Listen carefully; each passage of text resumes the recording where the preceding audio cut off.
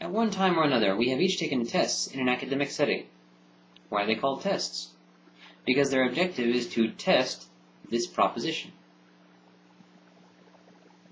Presumably, if the test is properly designed, then a score above a certain point indicates that the student probably does, and a score below that point indicates that the student probably doesn't. In order to test this proposition, both possibilities are necessary. In order for this proposition to be properly tested, there must be both a way, for, a way to tell if it's probably true and a way to tell if it's probably false. Put another way, in order for the act of passing the test to be an accomplishment, in order for it to have any meaning, there has to be a way to fail it. That is, this proposition must be both verifiable if true and falsifiable if false.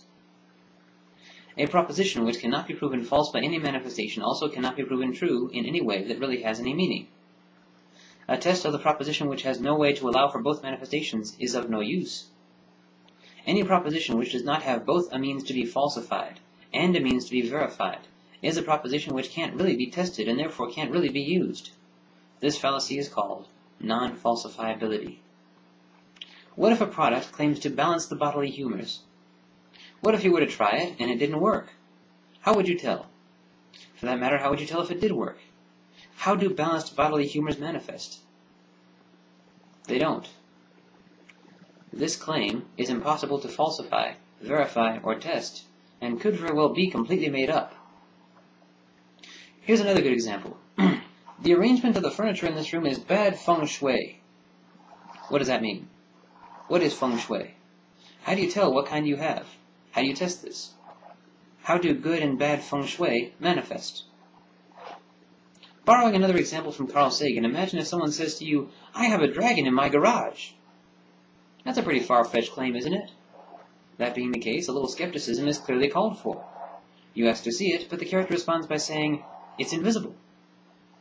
You then ask if you can sprinkle a little flour on the floor to see, the footprints it, leaves, but the response is that it's, it's a weightless dragon which never touches the ground. Maybe you can touch it. But no, it's intangible as well.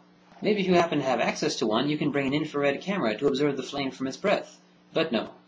Apparently, the flame it breathes doesn't give off any heat. So then you ask how he knows the dragon is there, and he responds by asking how you know it isn't. He shifts the burden. Clearly, what this fellow has on his hands is not a dragon. It's a god. This pill works on a principle of infinitesimals. That means the smaller you do the dose you use, the more potent. So then, if I take none, I will overdose? Apparently, if I take one of these pills and still have the problem it was prescribed for, that means I need to use a smaller dose. And how will I know when the dose is small enough? Why, when the problem subsides, of course. And how am I to rule out the possibility that the problem was solved by some factor or combination of factors I just didn't happen to notice? Reply Hazy. God will reveal himself to you if you just pray hard enough. How can this be verified? By God manifesting, of course. How can it be falsified? I'm drawing a blank. So how can it be tested? It can't be. The only way to see this as true is to begin with the assumption that it is.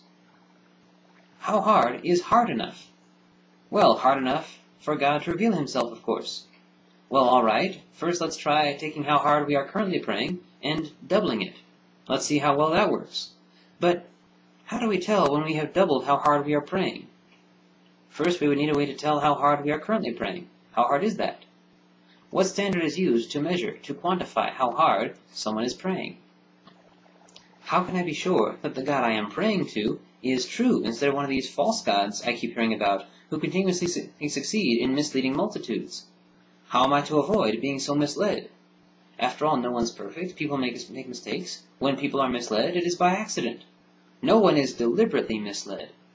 I would prefer not to be led to hell for making an honest mistake. Well, you have to put God first.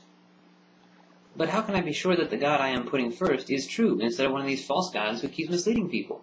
Well, you have to trust in God to find a way.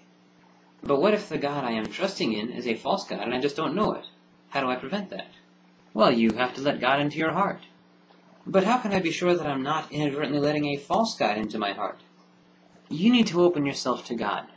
How do I tell that the God I am opening myself to is the one who is true, instead of one of these false gods.